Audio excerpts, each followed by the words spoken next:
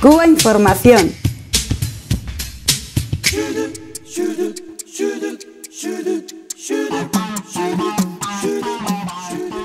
La historia se repite, en estos días estamos viendo una vez más otro golpe de Estado en América Latina, otro presidente, presidenta, en este caso autoproclamada en este país, Yanín Áñez, saltándose toda la legislación, el ordenamiento constitucional y con los actores de siempre garantizando y legitimando un golpe militar en el país.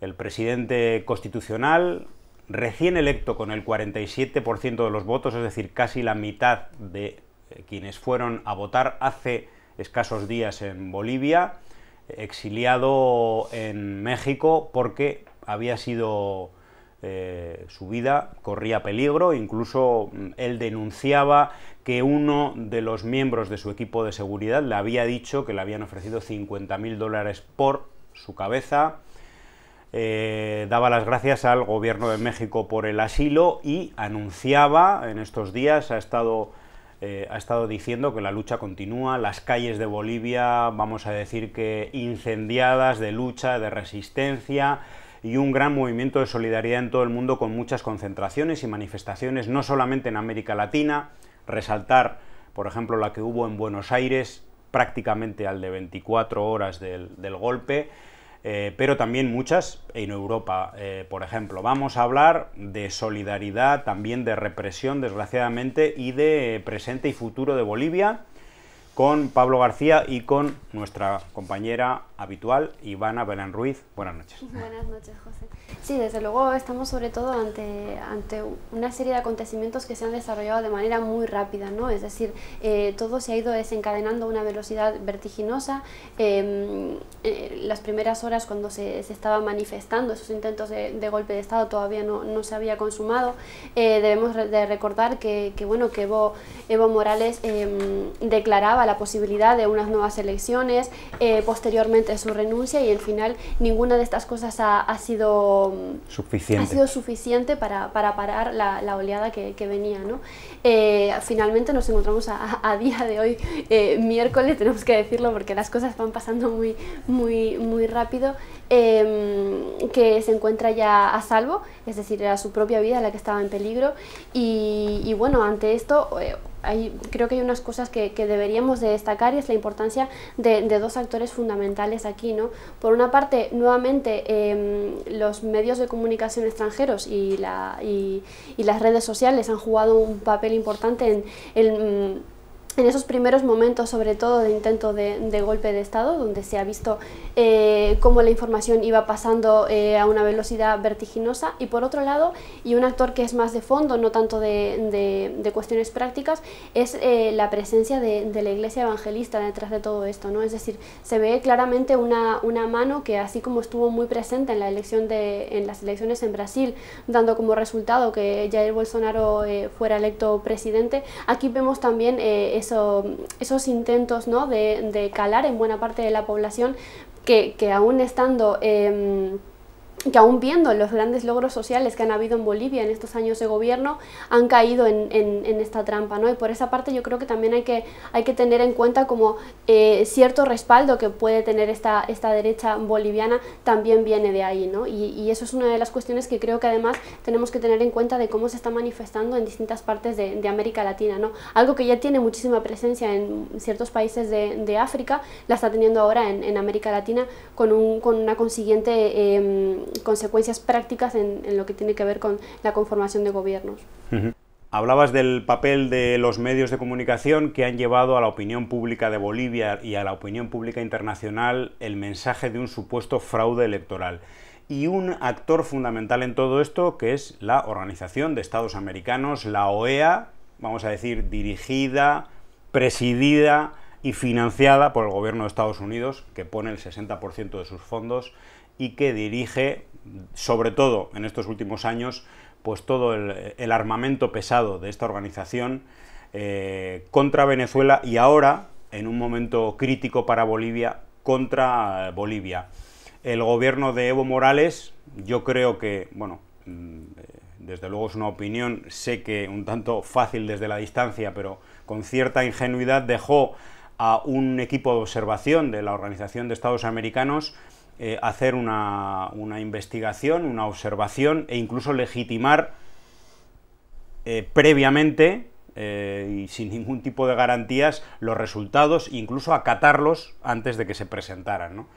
Y esta organización, este equipo, dijo que había una serie de irregularidades en, en unas pocas actas y a partir de ahí, pues ya supuestamente eso, sería la prueba de un gran fraude. Esto ha sido desmentido por otros centros eh, que han hecho también sus estudios y han dicho que eh, en absoluto hubo ningún tipo de fraude electoral.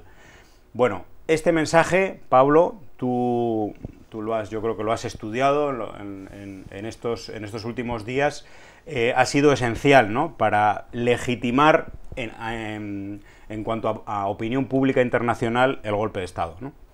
Sí, efectivamente. El, durante los últimos eh, días eh, el objetivo no era tanto discutir si Evo había ganado o no había ganado, sino estaba en esas décimas que le iban a dar los 10 puntos de diferencias que según la Constitución ahorraban esa segunda vuelta. Entonces, eh, Evo Morales eh, acepta que un equipo de observadores de la OEA mm, revise, audite el proceso electoral. El proceso electoral, en, el recuento del proceso electoral en Bolivia tiene dos fases, ¿no?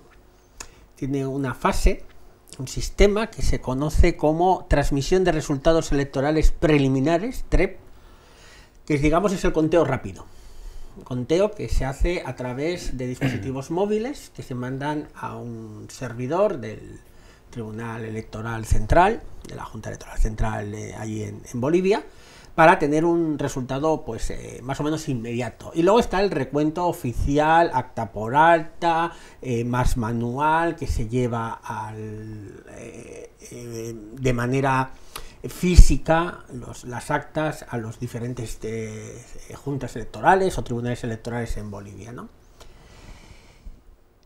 Ocurre que durante el, recuento lo que los observadores de la, de la ONU, de, perdón, de la ONU, de la OEA van a realizar es, un es auditar las actas del recuento rápido. Y ahí encuentran algunas actas, unas pocas actas, menos del 0,2% o el 0,2% del total de las actas encuentran algún tipo de irregularidad. Como en cualquier proceso electoral del mundo. O sea, en el Estado español eh, hay cantidad de actas impugnadas que están ahora siendo resolvidas por las juntas electorales provinciales. ¿no? De eso se hace un informe. Ese informe se tenía que haber presentado el lunes o martes pero en una maniobra un poco extraña por parte de la OEA, dicen que van a hacer la mañana del domingo público ese informe. Informe que además no dice absolutamente nada de que eh, las actas del conteo manual, que es realmente el que es vinculante, haya habido ningún problema. Eh, no dicen absolutamente que Evo Morales no haya ganado las elecciones, sino que hablan de unas pequeñas irregularidades y muchas veces incluso son irregularidades técnicas, ¿no? Que si la IP eh, de que se había mandado no correspondía a la IP que tendría que haber sido el origen, que si el software que había instalado era una versión anterior, o sea, cuestiones mm, totalmente pues eh, técnicas que no tienen absolutamente nada que ver con un fraude a gran escala y que aunque fuesen ciertas no hubieran para nada variado el resultado. Primero, el resultado de la victoria de Evo y segundo, el resultado de los 10 puntos de ventajas. Esto está claro que la OEA lo que ha querido hacer con este informe preliminar y sacarlo antes de tiempo era incendiar ya una situación que era caliente en la calle con, con el ataque de la derecha a la legitimidad del presidente Morales, que además y acabo con esto, eh, primero era eh, Mesa diciendo que hay, Carlos Mesa diciendo que bueno, pues que había ahí, que había que ir a una segunda vuelta, pero luego ya eh, por la derecha le adelanta Luis Fernando Camacho diciendo que no, que hay ni mesa, ni Evo, ni nada, que hay que renunciar del presidente y punto. Em, Bolivia, un país que en estos 13 años de gobierno de Evo Morales ha reducido la pobreza del 60% al 34%, la extrema pobreza del 38 al 15% y que incluso en los datos macroeconómicos más ortodoxos, digamos, los que tanto le gustan a los economistas al uso, tenía unos niveles de crecimiento económico del PIB absolutamente asombrosos. Posiblemente la primera economía en cuanto, tanto en cuanto a, a datos sociales como datos económicos de toda América Latina. Pero así como en, la, en, el caso de Venezuela se justificaba o se justificó toda la ruptura eh, del orden constitucional por el supuesto caos, crisis económica, crisis humanitaria, etcétera, etcétera, en el caso de Bolivia, que las circunstancias económicas eran y son hasta la fecha muchísimo más positivas, parece ser que les da igual, ¿no? O sea, aquí el argumento es el mismo porque el fin siempre es el mismo. La derecha quiere el poder sí o sí y aprovecha las debilidades de los gobiernos de izquierda, en este caso el no tener eh, bajo el mando estricto policía y ejército, que es lo que ha ocurrido, lo que no ocurrió en Venezuela, pues al final dan el golpe. ¿no?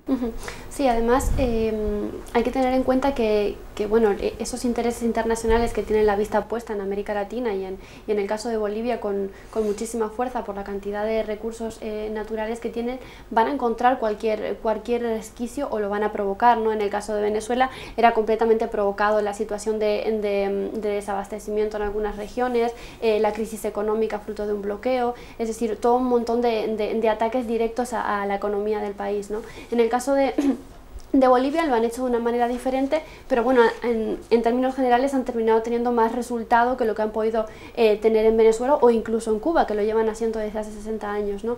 Por lo tanto, eh, yo creo que una de, la, de las cuestiones que, hay que tener en cuenta en este caso de, de Bolivia es analizar eh, esto que tú mismo comentabas, ¿no? es decir, qué alianzas tienes dentro del propio país y con qué fuerza las estructuras que has montado resisten este tipo de, cosas. ¿no? Estamos viendo como la, la población población eh, civil eh, mayoritariamente en, Bolivia está en las calles de forma pacífica eh, pidiendo que, vuelva Evo ¿no? y que se, que se retome un, orden constitucional. pero bueno, más allá de, estas personas y, de todos los movimientos sociales que pueden estar apoyándolo, hay que ver cómo esas estructuras del Estado que habías creado tienen verdaderamente un, un peso como para seguir para seguir tirando adelante, ¿no? Evidentemente ha sido un ataque brutal y, bueno, además una de las cuestiones que, que, a medida que iban pasando los hechos me llamaba más la, atención, ¿no? Es decir, un país que había creado eh, un viceministerio para la descolonización, que es, que es único en América, en América Latina o al menos con, esa fuerza, eh, tiene ahora una autoproclamada presidenta que es abiertamente racista, ¿no? Y ha tenido muchísimas declaraciones donde lo ha puesto en evidencia, ¿no? Un, país tan rico como Bolivia, donde se constituye como un Estado plurinacional y que ahora mismo eh, está completamente eh, en peligro esa, esa pluralidad con la que se había formado el Estado, ¿no? Por lo tanto, yo creo que, que eso es una de las cuestiones que más debemos de, enfatizar desde la solidaridad con, con, Bolivia, porque, porque nos quitan un pequeño faro si pasa esto, ¿no? Y yo creo que, que en esa línea eh, somos son muchas las otras comunidades que, que están teniendo, eh, está en riesgo cuando, si, si está amenazada Bolivia. ¿no?